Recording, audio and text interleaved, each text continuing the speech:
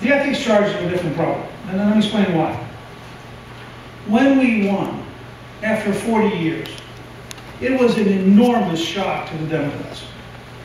I mean, the Democrats literally, most of them had never served in the minority. And they knew it couldn't be their fault. And so they assumed Gingrich is this bad person who has somehow taken away our power. And they decided to attack me. They ran 121,000 negative commercials over, over the course of a year. They filed 84 ethics charges. What I should have done in retrospect is about the third ethics charge, I should have attacked them and filed a charge for their abusing the system. We just kept knocking the charges down. 83 out of 84 charges were totally knocked down as being nonsense. The 84th charge broke into two parts.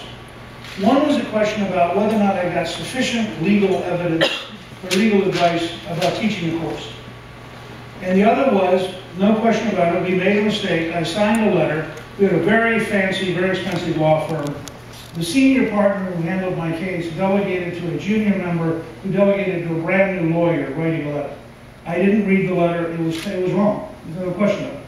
And in fact, it was contradicted by everything else we'd already done.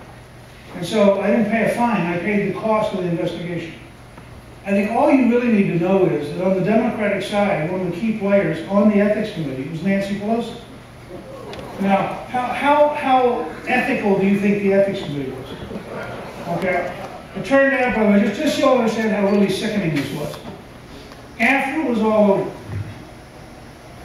and I asked Republicans to go ahead and vote for the, the, the uh, resolution because I, we just, we had to get it over. Because balancing the budget, passing tax cuts, all that came after this fight. And we were never going to get anything done unless we got this over. After it was all over, the U.S. federal court reviewed stuff and said, oh, guess what? Gingrich was right. The IRS reversed themselves and said, oh gosh, Gingrich was right. The Federal Election Commission reversed themselves and said, oh, Gingrich was right. Now, none of that made page one. None of that's in my opponent's hands. Although, if they were honest and they did the research, they would tell you that I was exonerated of every substantial count, and the courts actually said I was correct and, and the, the investigating committee was wrong. That's what happened.